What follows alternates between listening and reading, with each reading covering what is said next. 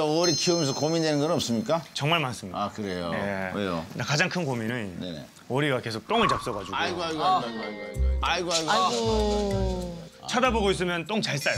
음. 근데 조금만 안 쳐다보고 관심 안 가지면 바로 옆에 와서 발 옆에 와서 싸고 거기서 먹어버려요. 에이 그 그 못 먹게 해줘. 그못 먹게 하는데 잠깐 저희가 뭐 설거지를 하거나 딴 거 하고 있으면 관심 안 가지면 은 잠깐의 그래서 지금 먹네. 걱정이 되게 많습니다. 아 경계 근무를 하는군요. 아 못 먹게. 그 이제 어떻게 하나 보려고 어. 앞에서 저러고 있었는데 확실히 안 먹어요. 어떻게 뭐 훈련 방법이 없습니까? 요쯤 되면은 이제 맛으로 먹을 시기는 지나고 있거든요. 어, 예. 이 관심 가지려고 이제 하는 건데 요때 살짝 바꾸기만 하면 내가 밖에서 응가하는 버릇을 좀 한다든지 아니면 다른 장난감을 놀게 해준다든지 예.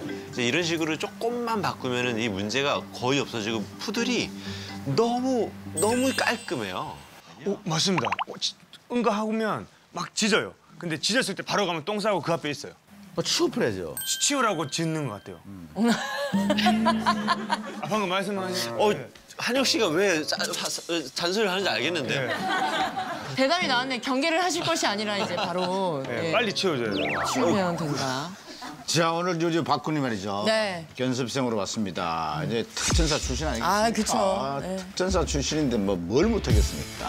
오늘 특전사 출신에 맞는 또 기회를 구했다고 이런 얘기를 좀 들었어요. 아, 예 불안하네요. 아, 사실 사실 또 네, 선배님께서 이렇게 또 어, 칭찬을 또 해주셨는데 네.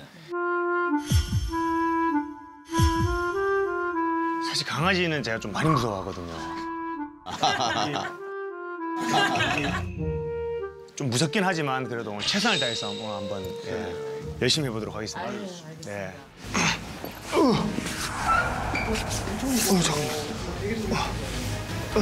됐어? 좋습니다. 아 또 오늘 저, 저, 활약을. 활약을 한번 기대해 네. 봅니다. 알겠습니다.